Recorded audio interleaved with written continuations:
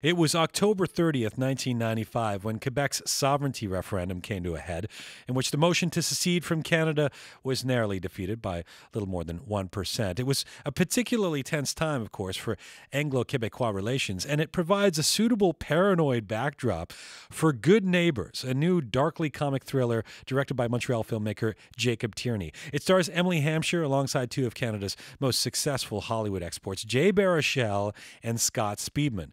Set in Montreal's Anglo dominated Notre Dame de Grace neighborhood, better known as NDG. Good Neighbors follows the increasingly tense relations between several apartment residents who struggle with social eccentricities, each other, and the threat of a serial sex murderer on the loose. The film also marks a reunion for Jacob Tierney and NDG raised Jay Baruchel, who last worked with each other on Tierney's acclaimed film The Trotsky. It's, of course, been a hugely successful year for Jay Baruchel in Hollywood. Good Neighbors just had its world premiere at the Toronto International Film Festival, and I'm pleased to welcome director Jacob Tierney and actor Jay Baruchel back to Studio Q. Hello, lads. Hi Hello. there. That's oh, very well done. Yeah, yeah, Jinx, private Jinx. You really have known each other your whole life. really have. We really have. Very nice to have you here. We Congrats. can't even speak without each other. Clearly. Congrats uh, on the birth of another film. Thank, Thank you, man. Thanks you must be excited. So this is based on the novel uh, Cher Voisin by uh, Quebec author Chrystine Brouillet. Uh, in adapting it for the screen, so you opted to set this during the 1995 referendum, which the novel is not set in. Correct. Why? Um, I mean, a bunch of reasons. The biggest reason is that I read this book for the first time during the referendum. I was in high school, and um, I had a, a, very cool French teacher who I used to complain to. All of our books were French. The books we had to read in French class were from France. And I said to her once, like, "Can I? Can you recommend to me a Quebecois book that I might run the risk of liking?" And she gave me this book, and I loved it and it was during the referendum. I read it that winter, like that fall and winter. So uh, for whatever reason, those two ideas kind of became conflated in my mind. Um, and then what it came to mean later to me was something a bit more. Uh, a bit, a bit, more kind of like red herring-ish to the story is that you know I wanted to set up a situation where there was a context that could play out that would that would look like uh, this film the series of arguments could play out on the subject of the referendum right. but really they're dealing with these kind of interpersonal relationships the referendum between becomes a metaphor. Exactly yeah. I see. Now uh, do you remember what uh, the, the, like how you felt during the referendum? Yes very clearly. It was uh, horrifying. Which Jay, you were 13. I, I did was. the math. I, I come prepared. So, so what you. do you remember about the referendum as a 13 year old? No, I, what I remember is, uh, you know, and, and I think Jacob was 16 around that time, and, and, you know, neither of us were able to do anything about it in that we couldn't vote, but uh, we both, you know, bore the brunt of whatever would happen. And so I, I just, I remember. Um, it was a particularly strange uh, formative period. I, I, I would never call it pleasant because I remember going to bed that the night of the referendum, kind of my mother weeping as she watched watched it on TV, and I wasn't sure if I'd wake up in another country, and like, and so I just um. I remember it was this incredibly, incredibly polarizing time, you know, and we it's such a weird way of life in Quebec, and um, at its best, we just keep sweep stuff under the rug a bit, and every once in a while the lumps kind of get a bit too big, and you have to acknowledge them. And uh, and I just, you know, my mother grew up during the October crisis, so I was always like grew up hearing all these horror stories of don't go out on Saint Jean Baptiste and lock your doors, and you know she had armed escorts on her school bus and all this stuff. So for me, it was just, um, it was this weird like. Uh, yeah, what the hell? What the hell's going to happen mm. tomorrow, man? And fifty percent plus one, that's that's not a real majority. Well, and I'm assuming you're you're an NDG, you're an Anglophone. Did you uh, your character in the film Victor is on the national side, the Canadian uh, yeah. Federalist side? Yes, sir. Uh, and, and, in fact, he's a very outspoken uh, Canadian patriot yeah. in this film. I think there's actually a line where it's like, "I love Canada," yeah, yeah, yeah. And, and to a certain extent, that felt like Jay Baruchel. No, I mean, you you you wear that very proudly on your. So th- this character you could relate to, I would assume, in the context of the reference. Oh, I- indeed. You know, I, I um the, the high school that I, I, I went to, the, for every one of us Anglos, there was three French kids, and so I remember going to school with kids who had like FLQ written in whiteout on their school bags and all these Bill 101 uh, stickers all over the lockers. And we had a, a flagpole with no flag on it. And I remember one time me and a couple of Anglo kids went to the principal and said, "Can we just can we put a Canadian flag up and you know we'll, we'll put a, a Quebecois flag too?" And he was like, he burst out laughing. He said, "We tried that once in 1980. We'll never do that again." and so like no, I, I I could relate to it. I was always um, I was always I always had fairly unpopular beliefs. You Well. I, I don't want to wade into the the two solitudes debate uh, in this interview because I want to get into the to your film, but but uh, but uh, it's probably dangerous to say this, but I, it doesn't it wasn't it cooler to be a separatist for for kids? I, Like- I, I was. oh, you were. Oh, yeah. oh, okay. So we can yeah. have the two was a- solitudes right yeah, here. Yeah. All right. He's not in- anymore. I should hope. This friggin' traitor. I mean, All right, easy, Tiger. go. Easy, Tiger. So, but you know, it's, I'm just thinking as teens, Yeah. yeah. it, it, uh, the being the rebel who wants to leave the yeah, country. that- that's kind of exact. Like I, I was, I remember very clearly being bored and horrified by the uniformity of opinion among people that I knew, and I that was, I mean, it was much more of a, a kind of a. Uh, a, I'm trying to find a word that is not shit disturbing. Oh, didn't work Well- out. did well it? done, yeah. Yeah, thanks. oh, God, sorry about that. Yeah. Um, you know, I, I guess it was a bit more of a, an antagonistic kind of rebellious position to Right, take, but right. I certainly had. I mean, I remember. I mean, I know, I know that you were at that rally, but God, I remember hating that rally. I was there with my mother. I was so deeply resentful. I was The like, one with the big- they're the- I- the flying, 50 foot flag, flag. flying yeah, people yeah. in from Calgary, like, oh, these guys don't get an opinion on what we. It was. I remember there was a lot of hostility towards Did that. you, but didn't you guys know each other then, or you didn't? We knew who each other were, and we knew our, our families knew each other. Right. You know, we were like- different high schools. Yeah, and- yeah, yeah, and yeah. different different ages or whatever. No, I was at high school with all Anglophones in Montreal West, and I mean, everybody was a Federalist, and so I found that incredibly boring and So not interesting. you were just a contrarian. I was a contrarian, but I kind of believed it too. Like I, I, I, I mean, Jay's right in the sense that Jay I is don't anymore. is palpably getting angry I know, again. I know. He, Look, he'll he- do this. What I ultimately have come to believe, and I still believe this then, was that uh, I, I can't pick a side in a colonial war. You know, like I'm not interested in this hundred years British French thing. Whatever. It's like picking a side in the Boer War. It's just not that engaging to me when we still live in a country that is committing the longest, slowest genocide in the history of the world. Like if either one of those sides had ever decided to take up First Nations issues in any substantive way, I, I think I would have supported them a lot more. Right. Uh, that may, was that maybe a bit hyperbolic? It's like picking a side in the Boer War. You Well, I mean, like the Dutch you're in versus the British, you know? Yeah, Like, thank you, don't thank you very much. I agree. That was pure I hyperbole. mean, uh, I, I, I, I tend just to got- speak in hyperbole, but like I do think there's a I similar. just thought it's maybe it was a bit of a stretch for a guy who grew up in Montreal. Yeah, it's honestly. clearly an issue. French versus, you know, it's like it, it's this old colonial idea that I I, I feel like. but that- it's more than that, man. I, I, I- I mean, like that, that, that's. No, because implicit in it is this idea that there's only two of us here. There's only two solitudes. And Right, I don't. right, I get- I don't get believe. for I just sure, don't for- buy that. Jay, uh, uh, here's your chance to respond No, to your for- old dear friend. Yeah, no, for me, it's just, uh, um, I mean, yeah, I, I, I, uh, my mother's family are uh, predominantly uh, uh, uh, military. You know, everyone was uh, either in the army or the. You know, my uncle was a Mountie for 30 years and would guard the Queen when she'd come to Canada. And you know, and my my granddad left his, his his wife and kids in 39 to go fight the Germans and came back alive and re-enlisted to fight the Japanese. And so for me, I was just um, there was never ever a question. You know, I I was always raised uh, believing that we had the best country in the world and it was something worth fighting for. And uh, I, I didn't want to see them try to to try to tear my country apart. You know, that's why I'm also um, I'm I'm quite a partitionist, which is a, it was a mini movement that happened in uh, in Anglo neighborhoods in uh, in Quebec, where they said, all right, if Quebec separates. Different neighborhoods can uh, can elect to stay part of Canada. If you're going to tear our country apart, we'll tear your country apart. It's a bit of a vindictive thing, but uh, yeah, no, I got a maple leaf over my heart for a reason. Uh, although uh, not a, not a Maple Leaf meaning the hockey team. Just Oh to be God, clear. no! Oh God, no! it is definitely not blue. Just to be very It clear. is definitely not blue. a, a noted Habs fan. Uh, so, uh, moving back to the film uh, more specifically, um, uh, Good Neighbors.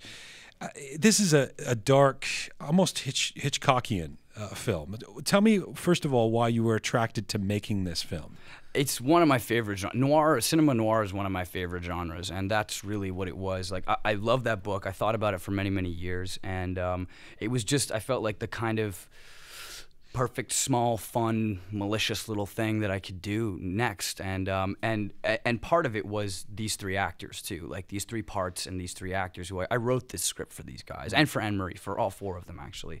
Um, and uh, yeah, it, it's a tone and it's a kind of movie that I as an audience member, love and crave, and I don't feel like we get a ton of them, especially when they're funny. It's- I feel like there's a period where where you know humor was kind of sucked out of uh, noir and thrillers, and I I love it when it's in there. You know, when it's It's dark, it's disturbing, and it's also very funny. Mm. So when you write something for, you're talking about three actors being Jay Baruchel Jay, Emily, Scott, and Scott yeah. Speed.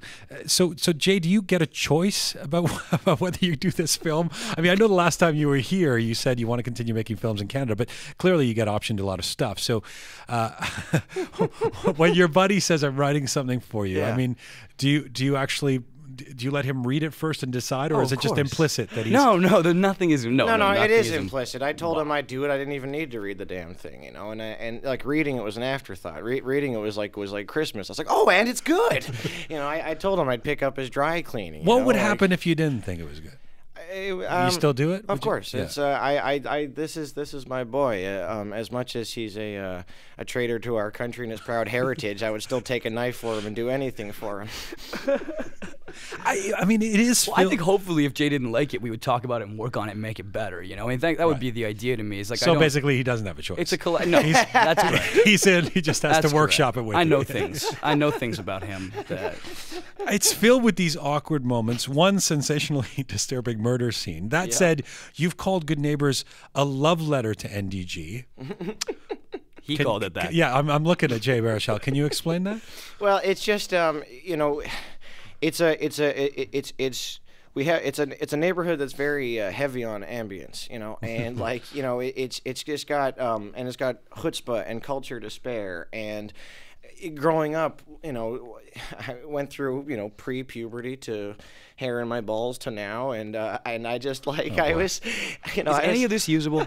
Is this is this ever going to be on the air? All of it. no, but I uh, You hang yourselves, my you know, I, friends. I've gotten jumped in that neighborhood, and I've, you know, I've done everything there is to do in that neighborhood, and, and I always just saw it as a movie, and I always saw my neighborhood as a movie. And I remember there's one particular crane shot uh, of establishing shot of the apartment building, and um, I started crying when I saw Jacob filming it at the monitor because I'd never seen my neighborhood uh, shown the way that I see it in my head, you know, and uh, it, it, it's just. Um, we nail down certain aspects of, of that specific culture because our, our neighborhood is not one that many people go to when they come to Montreal. It's to me, it's like the best kept secret in the city, and uh, and I just I, it was just to have a movie take place there, and when we shot it, it was called NDG while we were filming it. So it's As just a partitionist, it's it's important a to you. Big big deal to as me. the mayor, as the mayor of Notre Dame de Grace.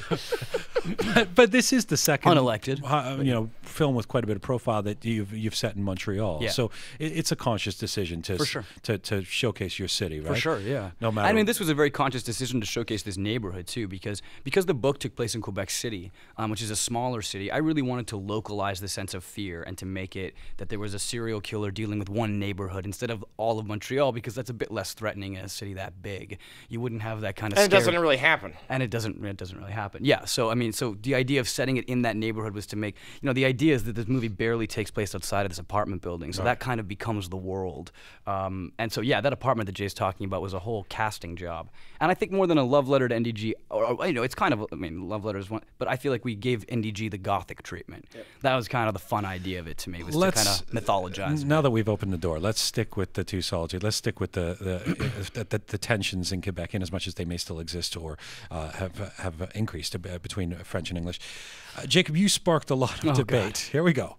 After you publicly, I gotta ask you about I it, right? I know you know you do. that. I know is- you you're on the national show. I know. wanna You can ask imagine how much fun it was for me to do Sorcerer's Apprentice press in Canada. That's literally all they asked me about was what you're about to mention. You you you uh, you were, you publicly criticized Quebec cinema, saying it was too insul- insular and did not reflect the, the diversity of the province. You said it was shameful. Uh, what provoked you to make those comments? Um. Well, it's it's something that I I mean, as a friend of mine once put, if you've had a conversation with me for more than half an hour, we probably talked about this. Uh, it's something that concerns me. You know, it. I um.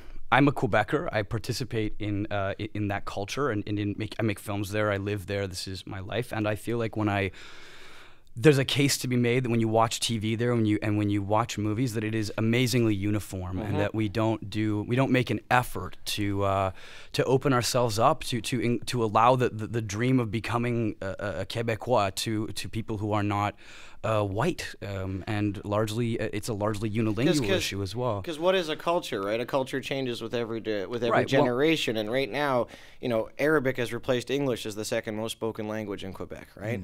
And, uh, and and and it's just you would never know that if you watch Quebec movies or TV. You know, I think I touched on this when I was here for the Trotsky. Is that if you watched French movies from Quebec, you'd never know that there was such a thing as Anglo Montreal, and if you watched Anglo movies from the rest of Canada, you'd never know there was such a thing as Anglo Montreal. Sorry, Montreal. Arabic has surpassed English as the second most spoken language in Quebec. Yeah. Really? Uh, yeah. Wow. I mean- you're you're saying you I don't you know, I just you don't- I have no idea. That's that, Does that sound wrong though? I mean, I have I have no idea. that, that sounds. I mean, I, I don't know. I mean, that sounds. Well, that's interesting. I wouldn't be surprised if eventually something surpassed English. Yeah, I mean, yeah, uh, that's- yeah, that yeah. doesn't surprise me at But all. but I mean, uh, Jacob. uh, So you you agree with this assessment? Jay. 150%. But, but uh, one of the points you you made, and you sort of made it right now, was uh, Anglophones and immigrants are ignored, and you called Quebec cinema white, white, white. Mm-hmm. So I mean, there's Anglophones and Good Neighbors, but it's an overwhelmingly white cast, right? Mm-hmm. Yeah. Are you? Are, There's are two. you there's two native actors in it as well. I mean, to me, it's like a diversity of a reflection of where we come from. Um, uh, you know, this is a movie with a small cast. I, I mean, listen, I'm aware. Like, I don't think I'm not trying to exclude myself from being part of this problem or part of this yeah. issue. I think it's something that we as a culture have to look at and have to deal with. Um, and I'm. I also, but I, the only reason I'm hesitant to keep talking about this is because. I don't want to be the topic of the. I'm not. I should not be the topic here. Like that issue should be. And you know, people like Philippe Falardeau and Denis Chouinard and a lot of other filmmakers have talked about this. And, But you and- put it on the. That's okay. If I you, you did, put it on the agenda. People are talking about it. I yeah, mean, that's fine. But you know, I think that I'm too easy. Uh, Yeah, they're painting a big I'm, target I'm too on easy to. back. I'm too easy. It's too easy to, to make it about me uh, talking about it and not about the thing that I'm bringing up, which I think that a lot of people in Quebec agree with. Um, you know, w- w- we're the new world. We have to kind of open our, ourselves up to this idea Right, that. And I suspect, had you said it in Quebec, it wouldn't have been as big a deal. I firmly, because no, because honestly, because Jacob, not. like, for the whole time since we made the Trotsky, you, you've articulated, or you know, you- you've said things similar to that, and then you know, and nobody really gave a crap. And then we, he went to California, and there was one screening of Trotsky in L.A. where he said one sentence, and look what happened. Uh, You know, so I have to think that. A, if he had grown up speaking French as his first language, and B, had he said it in Quebec, there wouldn't be a controversy. It's just because he's an Anglo and he said it in the States. Jay, uh, it's it's a we, we talked a bit about the amazing year you've had Thank you. uh, um, last time you were here, and, and you really have, and, you, and Thanks, people man. just love your work, and you're great again in this film. Thank you. I, I, I mean, major Hollywood hits this year: The Sorcerer's Apprentice, How to Train Your Dragon. She's just not too good for me. what was that? She's She's out of my league. She's just she's out of my league. That's good it. Yeah, yeah. she's too good for me. I was thinking she's famous out of for my his league. research, ladies and Uh, gentlemen. yeah, well, I, I, which I, I actually love that film. I've seen it like three man. times because it's always on the plane. Yeah, and I that's see it my- exactly. But I so saw, does David Suzuki. Apparently, that was the weirdest was moment of the week for me. But but I wonder if um, so you're here you're you're still making a Canadian film, a horror film set in Yeah. Montreal. Um, do you business while your manager sitting on the other side of the of the glass? Do, do, do, do, you get pressure from the industry or or the people around you to to uh, somehow do more Hollywood fare? Are you, is it is it difficult for you to continue doing this kind of work even when it's with your your good pal Jacob Tierney? Uh, not not at all. It, it, it was, I'd say, um, maybe ten years ago, kind of when I was starting out in the states when I was 18. It's been it's been a decade that I've been working down there, um, and I've never moved there. And I remember once a year for the first couple of years, all my American agents would sit down and give me a real stern talking to, where they say, "All right, Jay, you have to pick one. You have, you can live in Canada or you can work in the states." And I'd always said, "All right, boys, I live in Canada." And I always just called their bluff, and they're like, "All right, fine, we still want to work with you." And so, like, eh, and and and also more to a point they've seen they've seen that I, I, I do largely my best work in the movies I do up here. And and they support me and they you know they, they come to every event and they come up to every to, to every movie and they, they realize that this is this is my career. This is where I do the best stuff. And they and they've seen firsthand that like I don't know people like me a bit more up here than they do down there. So they re- they, they know we have a good thing going up here. You do, and and Jacob, you uh, as we end off here, it's interesting watching you this year because last year, I mean, I, I know people in Montreal have known you for a while, but uh, uh, and certainly they might know your dad or your family, but last year you were the new kid. uh, the, the the renegade young director in his late twenties who comes in with the Trotsky. This year, uh, just by virtue of being the second year you're here, now you're the grizzled veteran. Isn't that funny? you're, you're like, oh, that old guy. We did him last year. Yeah, Jacob I know, Tierney. Yeah, he's Danny Glover in Lethal Weapon. so, uh, so uh, what have you learned from that? Pro- How has this experience been different with this film in terms of the way you're treated, and wh- and where are you going with this next? Your career. Well, I mean, the difference is that we came here last year with a movie that people really liked, and I, that, that has never happened to me before. um, I, it wasn't my first film; it was my second film. But I'd never made a movie, or, or I don't think even acted in a film that people liked the way they liked Trotsky, where people just stop me on the street and be like, "Oh God, I love that movie," you know, say really sweet things to me and really, really kind stuff. And so I definitely feel a, a lot of goodwill out of this festival and out of the audiences at this festival that responded so strongly to Trotsky. And it was very cool last night um, to hear again how many people, not just like the new movie, but how how much Trotsky stays with them. I think it's pretty funny to be put in that. I, I know, like when, when you know when TIFF started announcing and they were like veteran filmmakers like Bruce McDonald, Jacob Tierney, and Xavier Dolan. And Xavier Xavier called He's me and he was 21. like, I know he Yeah. was like, you know, you know, we're still younger than all of those first films. You know, like we're still. And I was like, I know, it's okay, it's gonna be okay. Right, right. Um, but yeah, no, it's it's just that, that that's fine. I'm I'm happy. You know, it is my third film. It's my third film at the festival as a director, and so it's you know I, I don't expect to be treated like a first time filmmaker. I'd probably be offended if if I was. I keep treating him like a first time. He does. That is Right, right, correct. right. That is correct. But you still do the work for him. Have whatever, have whatever to. he asks, you'll That's take the it. dry cleaning. You'll I take told the- him. it's I the first him. time every time though. That's- you know, it's, it's amazing. That's what great acting is about. First time every time. Guys, it's such a pleasure. As Thank you so buddy. much, Thank you for Thanks. having you know, us. Yeah, you're, we you're welcome it. anytime, and congrats on this. And, and I look you. forward to people seeing this film. Cheers, Yeah, me too. Thanks so much, eh? That is filmmaker Jacob Tierney and actor Jay Baruchel joining me here in Studio Q. Their latest film, Good Neighbors, had its world premiere at the 2010 Toronto International Film Festival.